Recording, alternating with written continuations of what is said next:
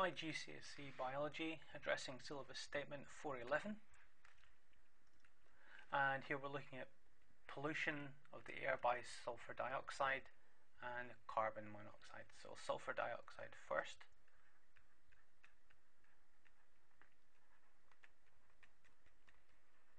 Sulfur dioxide, the formula for which is S for sulfur and O for oxygen, SO2.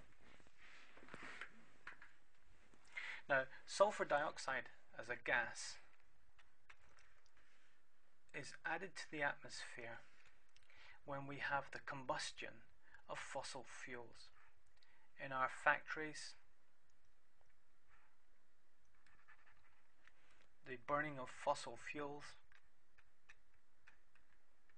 such as coals and oils results in gases given off which are SO2. Also a significant contribution to SO2 production comes from vehicles. And the combustion of oils and petrols and gas. So that also contributes SO2. In the atmosphere, sulfur dioxide combines with water vapor, combines with water, and forms what is known as sulfuric acid.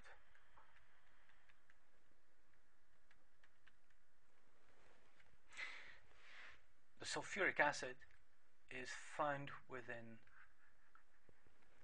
the water which condenses as clouds and when it rains like this then this is what we call acid rain. Acid rain affects plants and animals in a variety of ways.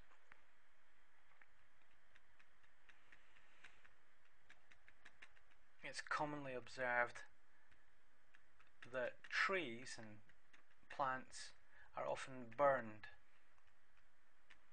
we'll call it burned, by the direct effect of the sulfuric acid on the surface. This is in conifers, we often see that the top of the tree is actually dead, like this. So the sulfuric acid directly.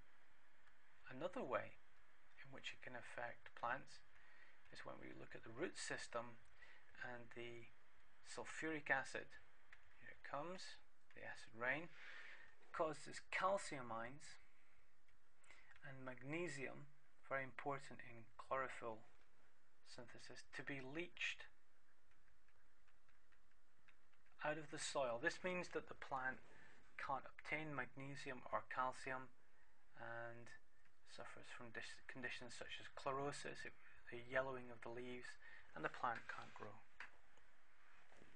Now the precipitation, the acid rain precipitation, will eventually form streams and these streams will form into the lakes and the effect of acid rain is to reduce the pH to make them acidic and the effect that this has is it brings about a release of aluminium ions and this has an effect on fish. Let's draw fish as best we can. That will do. Okay, here's a fish. And the important thing is to try and show the gills of the fish because the aluminium causes a thickening of the mucus that lines the gills and reduces the fish's ability to take oxygen from water. In effect, the fish suffocates, and this process kills the fish.